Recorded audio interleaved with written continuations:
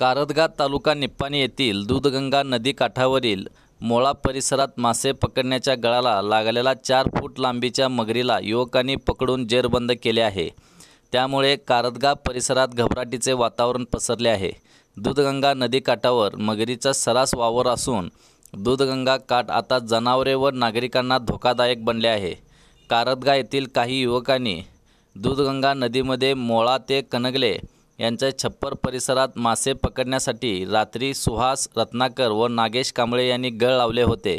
शनिवार दिनांक पाच रोजी सकाळी सात वाजता नदीकाठावर गेला असता गळाला मोठा मासा लागला असावा असा अंदाज गळाची जाडजूड दोरी ओढून काठावर आणल्यानंतर मगरीच्या शेपट्याचा भाग पाण्यावर तरंगताना दिसला. त्यावेळी त्यांची पाचावर धारण होऊन बसली. त्यांनी तात्काळ मदतीला अमित शिंदे संजय कराळे राजेंद्र कांबळे करण जिरगे यांना घटनास्थळी बोलवून घेतले. सदर मगरीला दोरीच्या साह्याने वर काढल्यानंतर मोठ्या शितिफीने व दक्षता बाळगून व मोठ्या शितिफीने मगरीला जेरबंद केले. या युवकांनी प्रसंग प्रसंगधाव राखून मगरीला पकडल्याने त्यांच्या धाडसीचे धाडसाचे कौतुक केले जात आहे.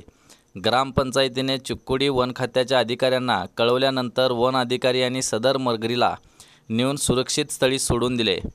बोलताना नागेश कांबळे व सुहास रत्नाकर म्हणाले की मगरीला पाहिल्यानंतर आमची एकच भांबरी उडाली पण सावधानता बाळगली. आम्ही मित्रांना बोलवून त्या मगरीला सुरक्षितपणे पकडून ग्रामपंचायतीच्या स्वाधीन केले. दूधगंगा नदीकाठावर मोठ्या प्रमाणात मगरीचा वावर सुरू आहे. त्यामुळे शेतकरी युवक लहान मुले व महिलांनी सावध सावधानता बाळगणे गरजेचे आहे. कारदगाहून नवा महाराष्ट्र न्यूजसाठी प्रशांत कांबळे. पकडायला जात आहोत आम्ही. आज पण आम्ही मासे पकडायला गेलो होतो. तर तिही चपकायला चपकाला लागलं होतं.